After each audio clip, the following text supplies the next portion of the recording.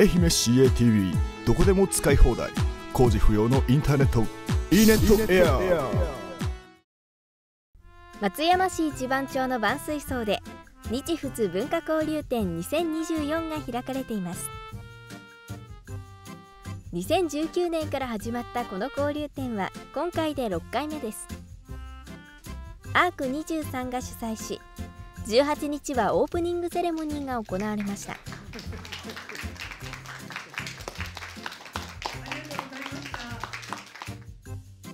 今回はフランス政府公認団体のアールテック欧州造形美術振興協会から10作品。そして愛媛のアーティスト20人の作品が展示されています。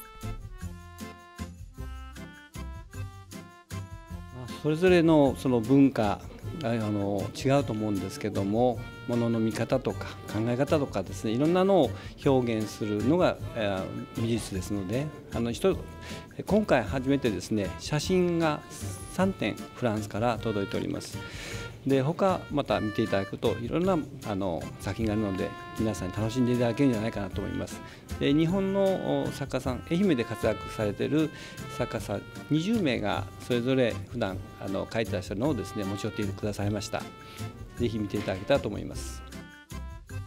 Je me présente, je suis Paul Parienté, président de l'association Artec, et je suis très heureuse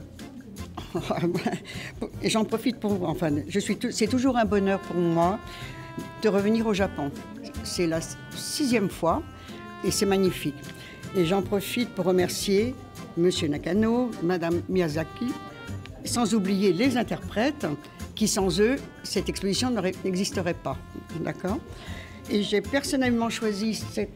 peinture qui est très actuelle puisque ça s'appelle les colombes de la paix, vu que nous sommes dans un monde un petit peu particulier et j'espère que je participer à ma façon à avoir un tout petit peu de paix dans ce monde un petit peu compliqué. はい、あのポールさんなんですけれども今回6回目の来日ということであのこのようにあのお招きいただいて皆様に感謝されていらっしゃいます。こちらが 彼女の絵なんですけれどもこれはあの平和の、えー、鳩ということでそういったあの今の世界情勢を表した鳩で、まあ、あの平和をね、願っているといった形です。日仏文化交流展2024は万水荘で6月23日日曜日まで開かれています。